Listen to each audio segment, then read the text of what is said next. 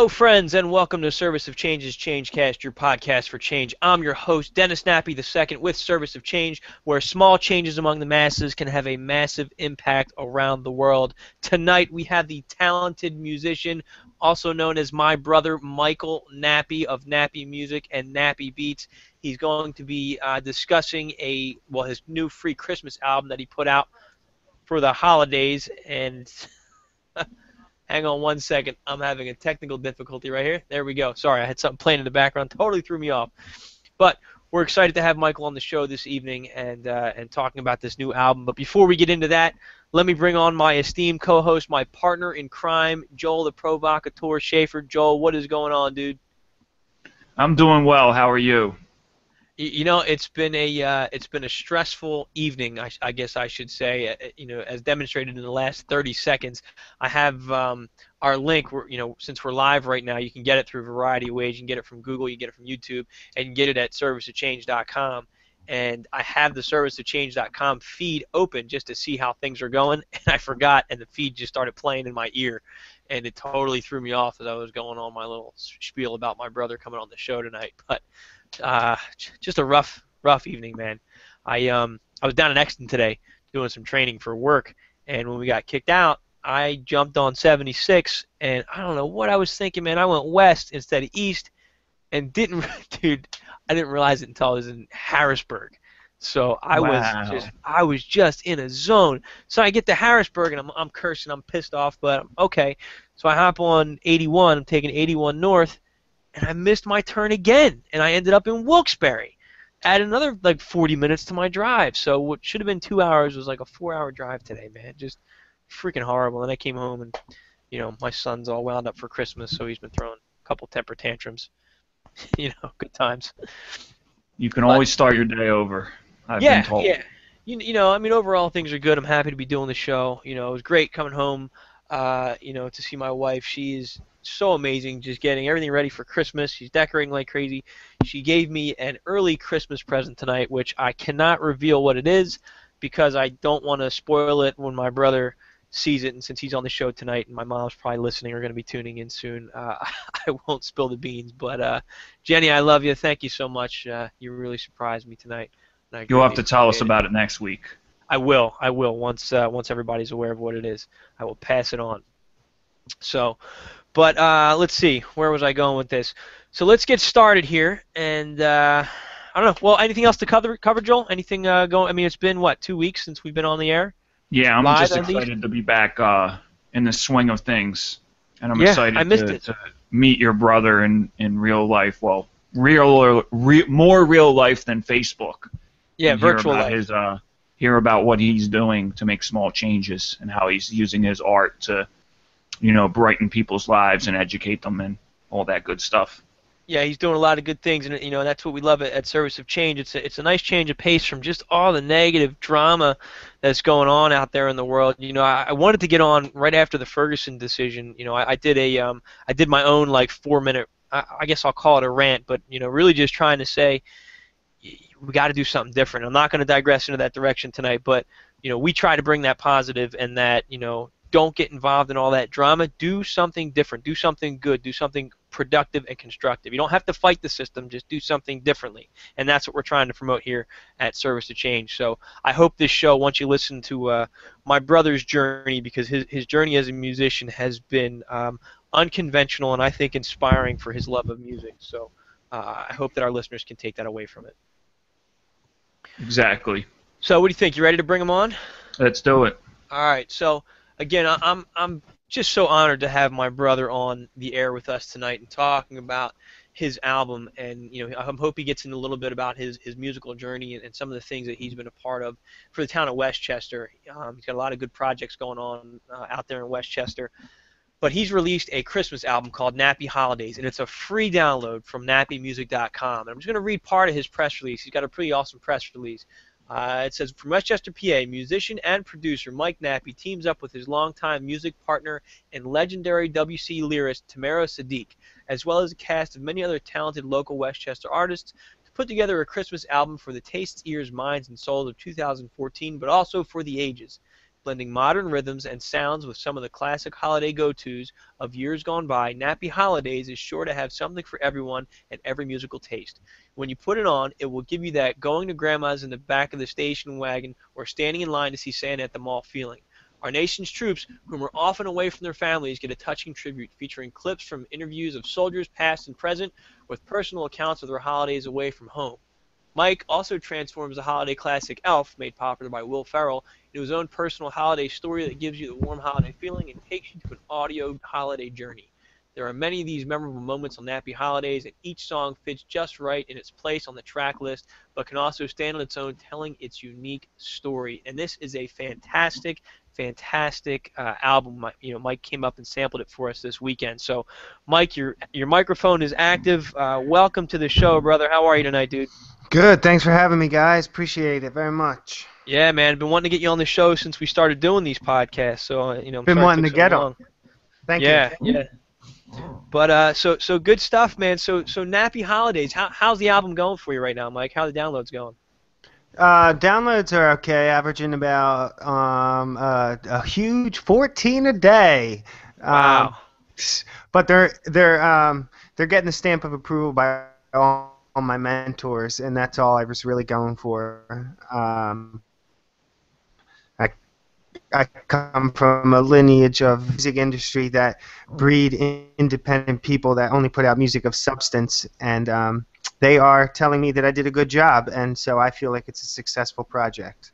I think so too, Michael. And sometimes it just takes a little bit for people to catch on, and especially, and I'm not saying it because I, I got, uh, you know, I know somebody in the Soldiers tribute that you did. I'm not saying it because of that, but I really think that that, um, in particular, pulls on so many heartstrings that it has the potential to go viral. You know, so if anybody's listening to that, if you enjoy it and if you respect it for for what I think Michael's message was, please share it. Share it with as many people as you can because it, it's a he, he spent.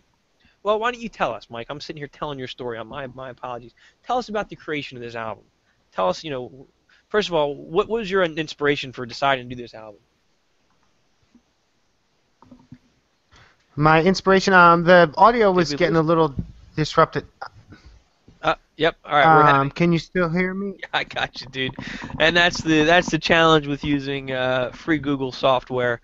We uh, we sometimes lose audio and it breaks up. So, Mike, are you still with us? I'm here. I was able to piece together what you said. If if you're able to hear me, I can yeah. answer. Loud and clear, brother. My apologies for that. So yeah, why don't you just start off telling us what was your inspiration for doing this uh, this album?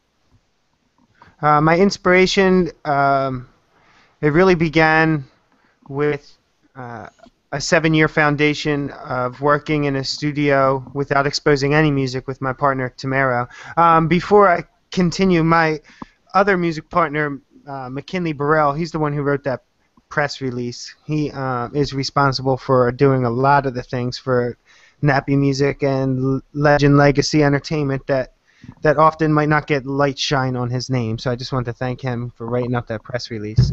Yeah, he did a good job.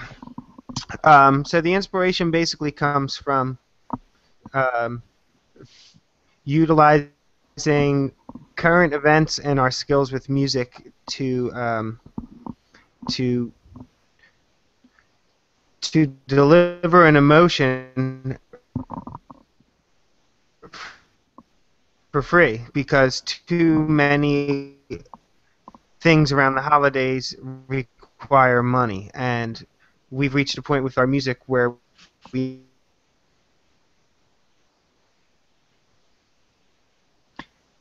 we're, we're really struggling with your connection there, Mike. It's you're fading you're fading in and out for us. But Michael was basically saying that uh, you know too many things around the holidays require money, and uh, you know they've reached a point with their music. I didn't catch the rest of that, but they they're giving this album away for free. And to those that are out there listening, I, I highly, highly, highly recommend uh, checking it out at nappimusic.com. Mike, you still with us? My my deepest apologies for this. It's okay. I'm sorry. Um, we're having some trouble. Are you able to hear me now? Yeah, loud and clear. Um, yeah, you summed it up. We basically just want to give out free music to the people, and we didn't want to disrespect the hip hop culture, so we kept it authentic with the beats and with the lyricism and with the message.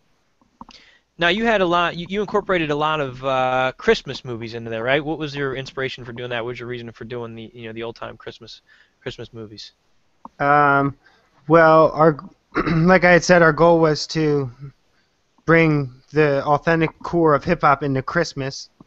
so once we sh- were able to maintain the the core of the the way the instrumentals were set up and to make sure there was proper lyricism there, then we were able to get have fun and choose the movies that we all had the most fun with as kids to really create that memory. Uh, and with with that formula, we were really able to capture something special because um, we we didn't have to uh, compromise on good music for the for a couple good extra sounds. You know, we we really did well on both ends.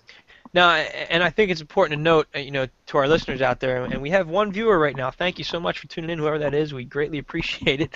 Um, but you know, to, to anybody that listens to that, you know, and says, "Oh, I don't listen to hip hop, I don't listen to rap," you know, I, I encourage you, listen, listen to the album, listen, you know, to the to the song, uh, "Candles in the Window," which is a tribute to soldiers, and um, you're gonna find that it's got some smooth hip hop beats to it, but you're gonna because he incorporated those familiar sounds of the holidays based on a lot of the Christmas specials that we've watched, all we've watched growing up, you're going to be able to relate to it. It's going to bring back memories. So, um, you know, this is really, I would say, an album for just about everybody that, they can listen to it and they uh, they can enjoy it. Definitely, uh, well worth a shot. Agreed. Especially, I always like to say when to those that are not interested in listening to hip hop, um, it is just currently right now the most uh, it, it's no different than if you do your history of American music. It's no different than rock and roll or jazz, and it's no different than blues. Um, the history of American music has started with slave chants, and then from there it has branched off to blues, gospel, jazz, funk, rock, rock and roll, rockabilly, and has reached hip hop. And every generation always has a large percentage of people that do not like the most current type of music. And whenever I hear about people like that, I always encourage them to do their history on American music because whether you like it or not, right now, if you have an important message, you may want to consider learning hip hop. Well, and that's that's the neat thing about hip hop. And Joel, maybe you can speak to this too. I know I know uh, you know you're in the rap game as well. Um, you know when you really listen to the lyrics, you know especially you know I'm going to shout out to the '90s and stuff, but there's a story that's being told there, and some of that got corrupted, I think, with with some of the gangster rap. It, it you know, it kind of went in a different direction. But there's a lot of artists out there who were just telling a story, trying to let people know, hey, this is a real problem. This is what's going on. This is what the struggle is all about. You know? Well, there's a reason. There's a reason why that corruption happened with the gangster rap.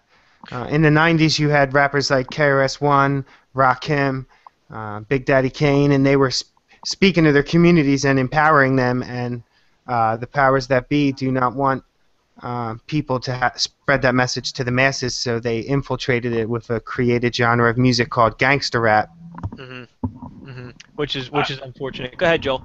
I I, I have a, a, a, slightly different perspective on it, but I think it's interesting. Um, I was talking to my mom about about some of the issues, like the black and white issues that are going on in light of like the Ferguson and now the uh, the Garner case, and I, I grew up in the '90s, and I liked some of the New York. I didn't really like the the West Coast gangster rap like NWA because it was just so over the top and just so violent, and I just I didn't like it. But I like some of the New York like thug rap, like Mobb Deep and Nas and mm-hmm. and yeah. some other people. And uh, what I noticed with them and even Wu Tang is that they they injected into the into the ambiance, into the atmosphere of the music, and into the, into the storytelling they they injected this thing called pathos. Now, pathos is a Greek word and has to do with we get our words like pathology from it. But pathos is sort of like it's like emotion often refers to sadness. And so when they told tales about selling drugs and, and even like shooting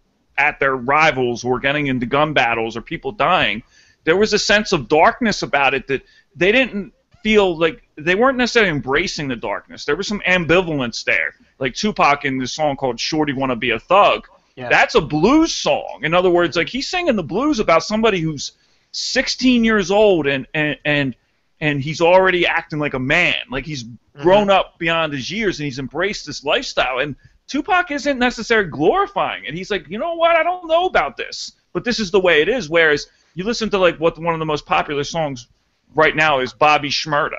And Bobby Shmurda is talking about catching a body last week to a dance song. So it's so far removed. Right. He's talking about killing somebody last week, and people are dancing around. There's no context and that, and to that violence. Difference.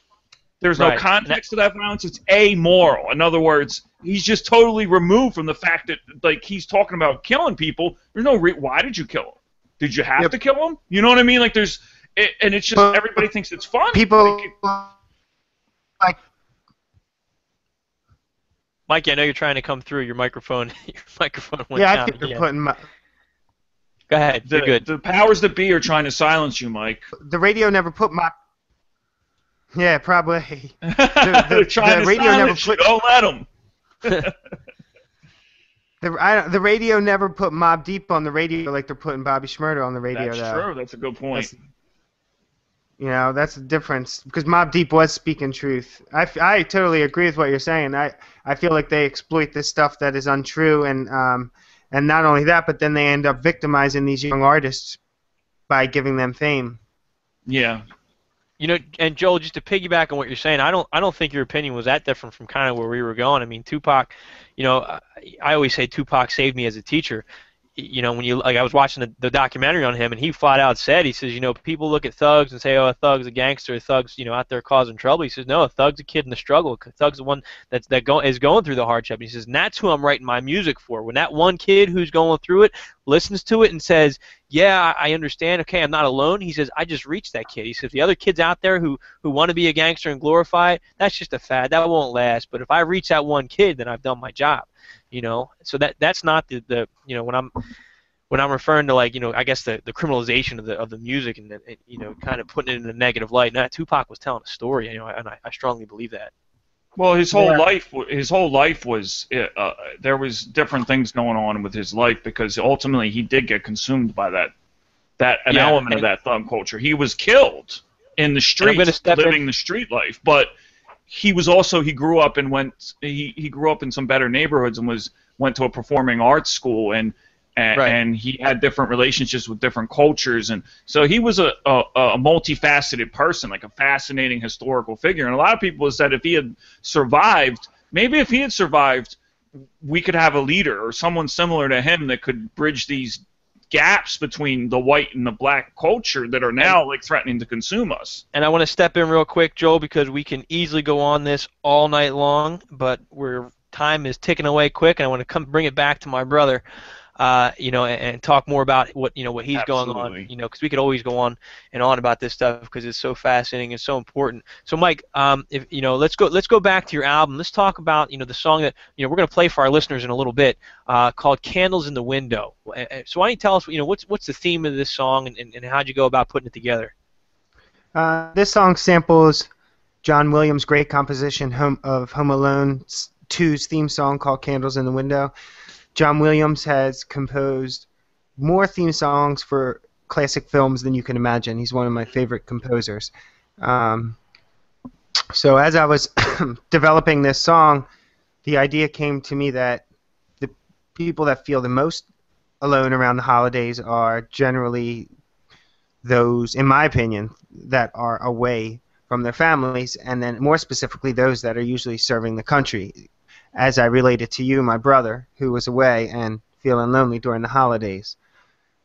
So I decided to ask some of my friends that have served during the holidays, Tom DeVitro, Kieran McGurk, and you, and I also got a clip from CNN from a uh, Lieutenant Colonel Kimberly North who talked about the loss of her father, which I think is important to mention, although I didn't, never met her in person.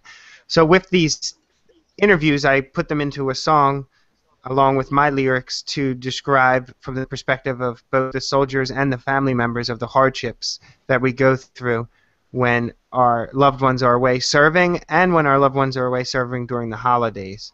And I tried to make the song uh, relatable to everyone despite what your views are on war and uh, the decisions of our you know our country to send troops to different places. I tried to focus just on missing the people we love and I think you, you strongly captured that, Michael. Um, you, you, know, and it's so powerful hearing what these soldiers have to say. Uh, you know, and, and, if you're ready, we can play it for our listeners right now. so they can uh, you know get just get a feel for it. And, and I want to just put the I guess the caveat in there that this um, recording of it, since we're still trying to figure out our new format in Google Hangouts, Michael's just playing it in the background. And it's still pretty clear, but it's not the best audio quality that you'll get when you go and, and get your free download. Where can I get that free download, by the way, Mike? Uh, nap, nappimusic.com. N-A-P-P-I music.com. Oh, they know how to spell Nappi. I'm always uh, plugging my last name with my Twitter account. Speaking of which, uh, you know, in, in, the meantime, also check us out at serviceofchange.com and uh, follow me on Twitter, Dennis Nappi the second, N-A-P-P-I-I-I, and on Facebook, facebook.com slash service to change, and continue to support the show. And you can get great updates and stuff like that. I'm doing a live uh, Twitter feed right now. And also, if you're through the Google Hangout, you can ask questions or, or give comments. You know, we're getting ready to play Michael's song, uh, so please give us your comments and uh, and questions for Michael, and we'll be happy to uh, you know to read them off to Michael and have him answer them for you and uh, you know just kind of enjoy this uh, this song that he put together. It's a really beautiful tribute. So Mike, if you're ready for it, you know we'll uh, we'll go ahead and uh, play it for everybody. Cool. Here we go. This song's called "Candles in the Window." Um, recorded here at Nappi Studios. Dozens of U.S. soldiers attend a Christmas celebration at the Balad military base in northern Baghdad. The final Christmas before all U.S. troops are expected to leave Iraq by the end of next year. Um, you know, when you ask somebody to sit in to fight, um, you're asking them to do something very cannibalistic. There's, there's nothing humanistic. There's, there's no like human trait at work. It's cannibalistic. It's different. When you ask someone to act like a cannibal, you disregard human life, because that's what you're doing. You're disregarding human life. It's take away a soul. But, you know, um, and then you, you expect them to come back and shut that off. Nobody's going to understand. Nobody's going to understand unless they've been through it. U.S. troops celebrate Christmas in Iraq. What will we see next in this battle against ISIS? I think we see a gradual increase in American presence there. I've used the number three to five thousand by Christmas uh, on the ground in some soldiers welcome the chance to spend time with each other. I guess it was a lonely time, but at the same time, you know, I had my buddies in order with me there, and, you know, and um, and that that made all the difference. Christmas is challenging for me personally because my father died on Christmas Eve the last time I was deployed. This is one time a year you don't want to be alone. So if you can't be with your family, be with the family that you have chosen. So I don't think soldiers expect civilians to understand what they go through uh, or what they went through, um, but at least trying to understand makes, makes uh. Christmas 1998, the first that wasn't great. Dreaded my brother shipping out to serve the USA. It left my family torn. To let our firstborn sign a dotted line at 17. But what was worse for him would be to not support him. We went to family forums, that all the members are affected from spot and Mormon. Even the middle brother with the new father mother didn't realize at night what they wondered in bed under covers. Will they see him again overseas in a bed? All he sees are visions of MREs dancing in his head. That goes for all the soldiers, for all that's on their shoulders, for all the stress he held to himself until I was older. Take a candle and put it in your window all the fireplaces this Christmas dismantled by widows. Show them some light at night when the wind blows through the pain, The flame symbolizes all you can be if you get home. I by myself,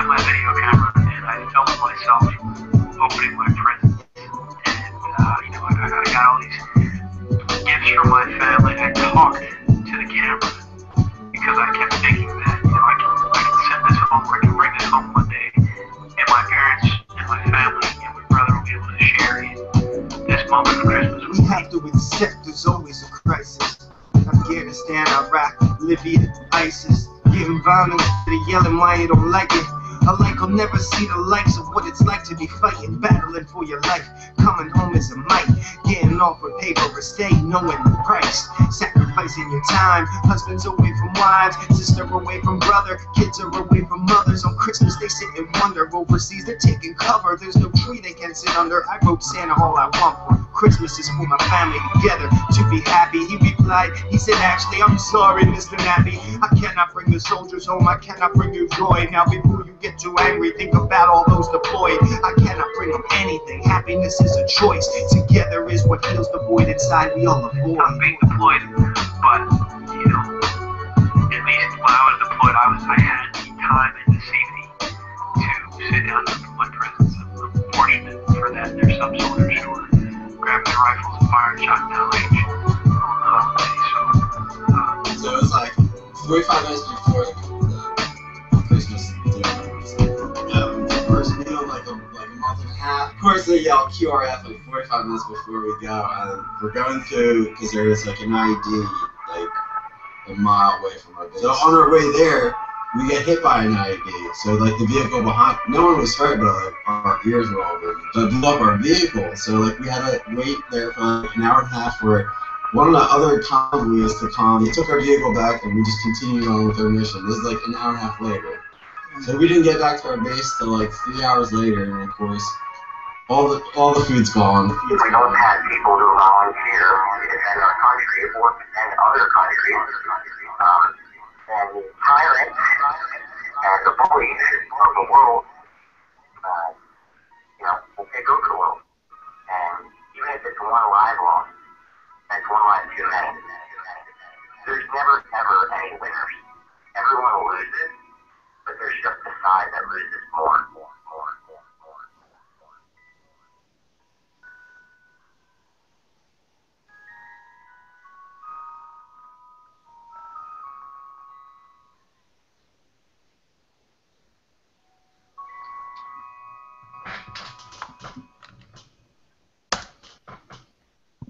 You know, I I didn't cry this time when I listened to it, but Mike brought that up and and uh, had the big you know um, on for uh, you know for us on, over the Thanksgiving weekend, and uh, we were all tearing up listening to it.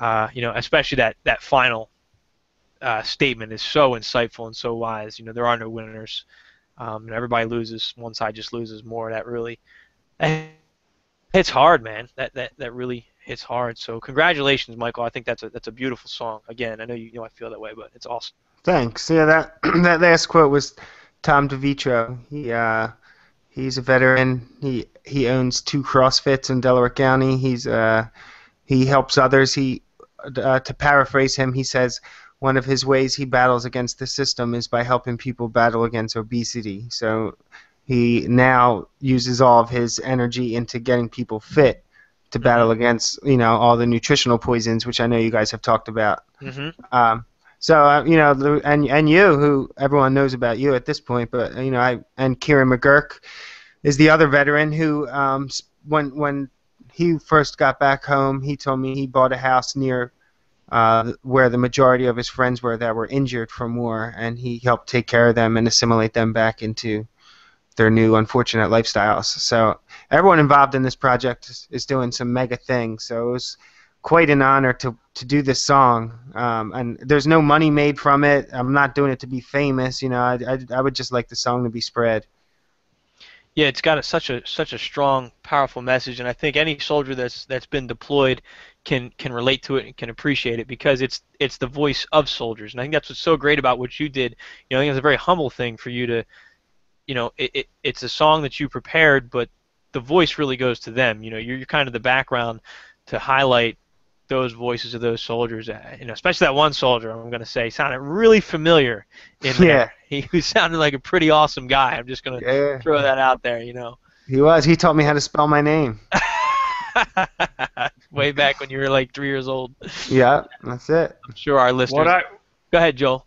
What I heard from the song was uh, an interesting like contrast between like the experiences of war that are like so sobering, and then you have the like Christmas in a lot of ways is is about innocence. I mean, it's about, often about children, and it often involves the story of a of a of a baby being born who becomes Jesus, mm-hmm. becomes yeah. Christ, and you have that that, and then you you know you sampled a movie called Home Alone 2, and, and so like I just felt like that that that tension between you know the innocence that you feel and even even your lyrics are kind of like you know they have a kind of like childlike like feeling to them in a good way where you're talking about you just want your family together for Christmas. Like there's a youthful urgency and pleading, and, and then and then you have the realities of war. And so between those two extremes, like you find like like some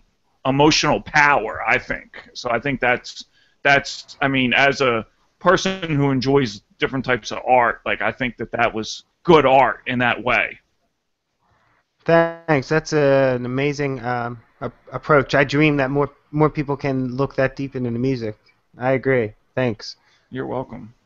Yeah, and, and I don't think that it's yeah. uh, too complicated to take that away from it. You know, not taken away from Joel's compliment, but I mean, I think it's just so powerful and, and, and so well done. So, how are you feeling now that that, that, that project is, is done? That, that you know, Nappi Holidays. You know, you've got how many how many songs on the entire album actually?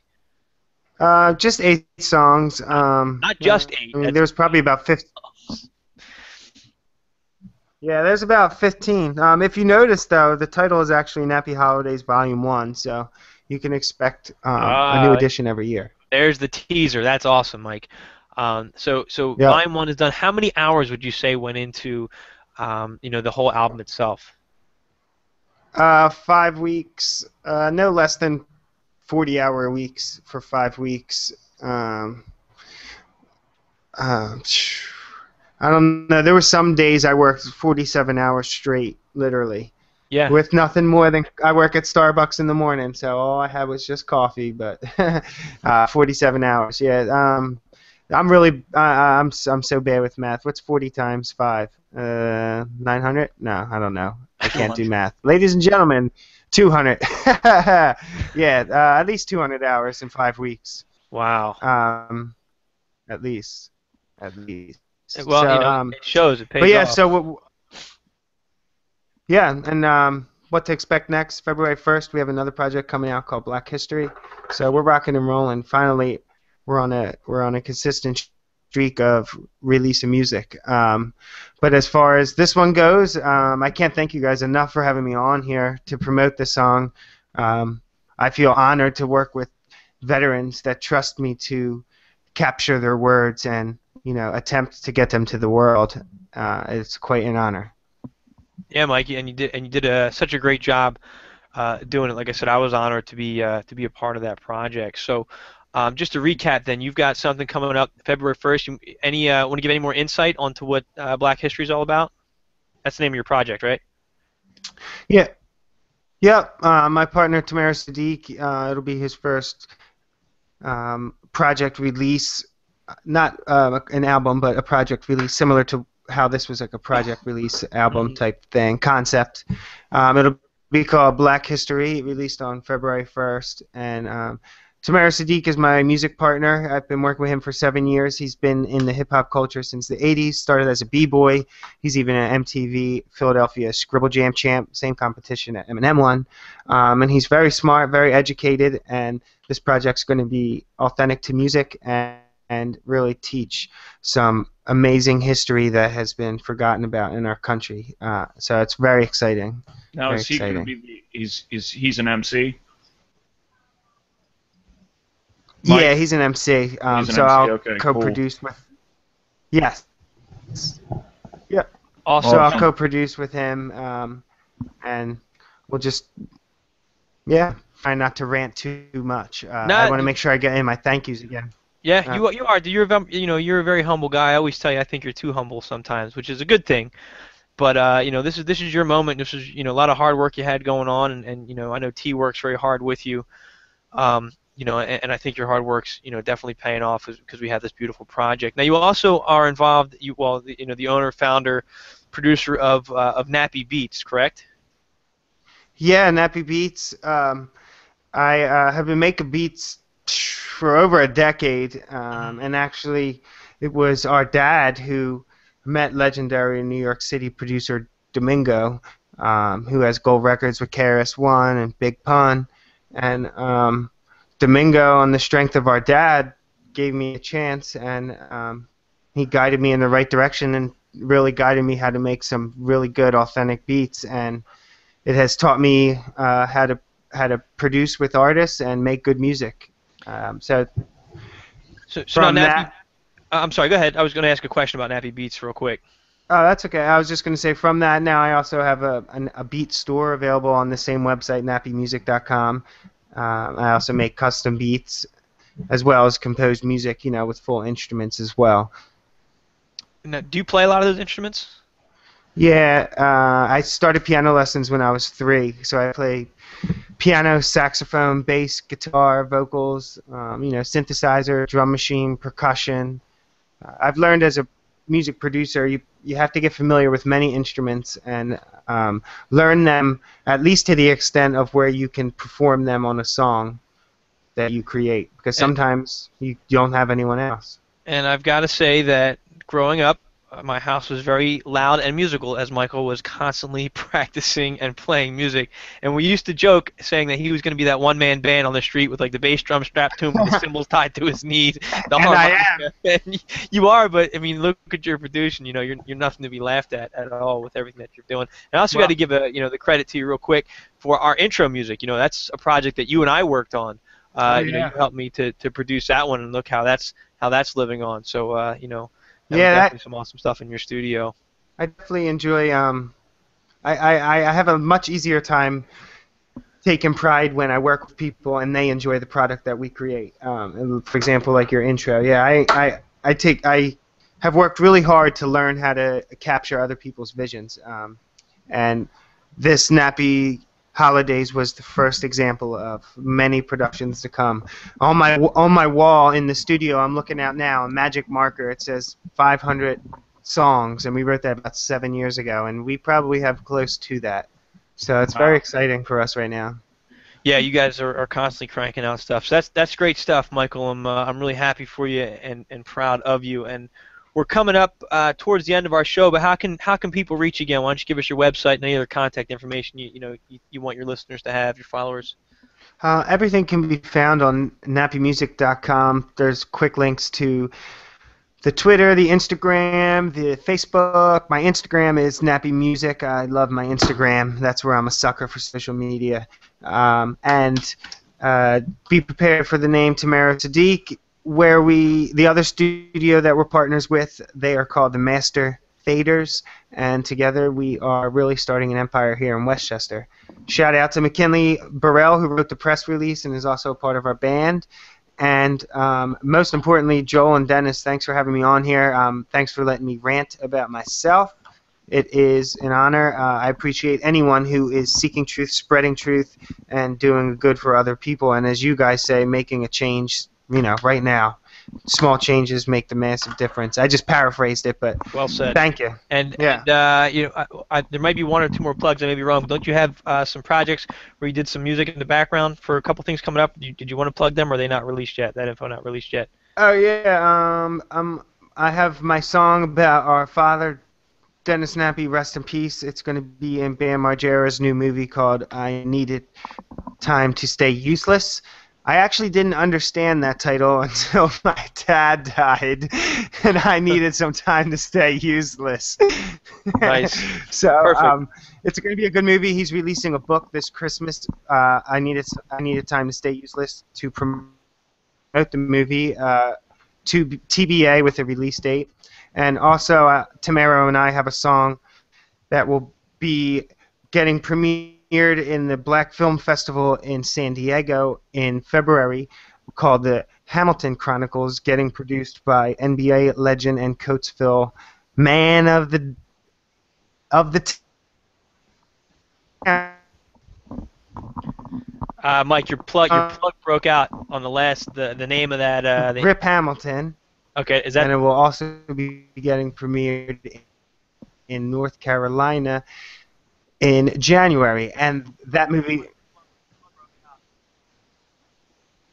You're good, Mike. You're good. Okay. Um, so Sky Hamilton is producing another film we're doing called The Hamilton Project, and by uh, we're doing, I mean we're contributing a song to the soundtrack, and that is getting premiered in L.A. and North Carolina over the winter. Wow. So uh, Sky Dennis and and um, Rip Hamilton. So it is uh, very exciting time right now. Your catch there was some microphone things that screwed up what I was saying, but um, pretty much just stay tuned at nappimusic.com. And the one thing I want to get clear. It's service of change. You guys are really doing a great part, and I thank you for letting me come on and talk. Thanks, Mike. I appreciate it. Definitely appreciate it. We're, we're uh, coming close to the end of our show. A lot of great plugs, a lot of great things going on for you, Michael, despite the uh, some of the technical difficulties we tend to have sometimes. Joel, let me turn it over to you real quick. Got about a minute for any uh, final thoughts or final words that you have, buddy. Uh, I just think music can uh, reach people where words sometimes can't. So I, I like I like the the fact that they're going to be doing something that's like uh, more historical about Black history, and I'm excited to hear about that. I think I think there's a lot of uh, more opportunities to be educated through music these days, and um, so I'm excited and I'm honored that that your brother came on the show. Good stuff, Joel. I, I couldn't agree more. So we're gonna uh, we're gonna move to wrap up the show right now. I want to give a quick shout out in case he's listening to my boy Nas. Uh, you know, I I, uh, I taught him back in the day in Coatesville, and uh, there's a good chance he might be listening. So I, I hope you're doing well. Uh, definitely drop me an email if you get the chance. And uh, to all our listeners out there, um, again, thank you for your continued support. Please support the show. Please share our links, share our articles. You know, share this ChangeCast. There's many ways you can get it. You can get it at serviceofchange.com. Click on the ChangeCast links; they're right there. You can also get it through an RSS feed if you have a podcast player on your Android.